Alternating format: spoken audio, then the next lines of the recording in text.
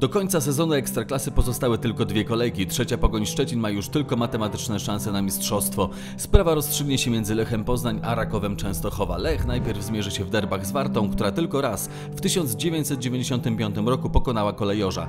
Na koniec u siebie zagra z Zagłębiem Lubin, z którym nie przegrał od czterech spotkań. Raków również gra z Miedziowymi i ma taką samą serię czterech meczów bez porażki z tym klubem. Ale na sam koniec podopieczni Papszuna zmierzą się z Lechią Gdańsk, której od trzech meczów nie potrafią pokonać. StatScore Live. Tu znajdziesz wyniki na żywo i statystyki zawodników.